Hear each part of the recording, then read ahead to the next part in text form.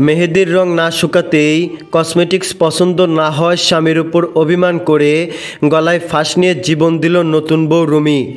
নববধূর মৃত্যুতে পাগলের মতো কান্না করছে স্বামী সরুজ। এই মর্মান্তিক ও দুঃখজনক ঘটনা ঘটে নওগাঁর রানীনগর উপজেলার কাশিমপুর গ্রামে। জানা যায়, বিশ দিন আগে সুরুজের সাথে বিয়ে হয় পাশের গ্রামের রুমি খাতুনের। পারিবারিকভাবে বিয়ে হলেও বেশ সুখেই কাটছিল তাদের দিন। এ কয়দিনে হয়নি কোনো ঝগড়া বিবাদ। গতকাল সুরুজ বাজার থেকে নতুন বইয়ের জন্য কিছু কসমেটিক্স কিনে আনে। তা পছন্দ হয় না নববধূ রুমির। এই নিয়ে দুজনের মধ্যে হয় কথা কাটাকাটি। নতুন বউকে অনেক ভালোবাসে সুরুজ, তাই রাগের মাথায় ঝগড়া করে অভিমানে বাজারে চলে যায় সে। এদিকে স্বামীর বকা খেয়ে আঠারো বছরের যেদিন নতুন বউ কান্নাকাটি করে স্বামীর উপর অভিমানে পছন্দ না হওয়া কসমেটিক্স ঘরের ভেতরে সরাসরির পর গলায় অন্যা দিয়ে ফাঁস নিয়ে আত্মহত্যা করে।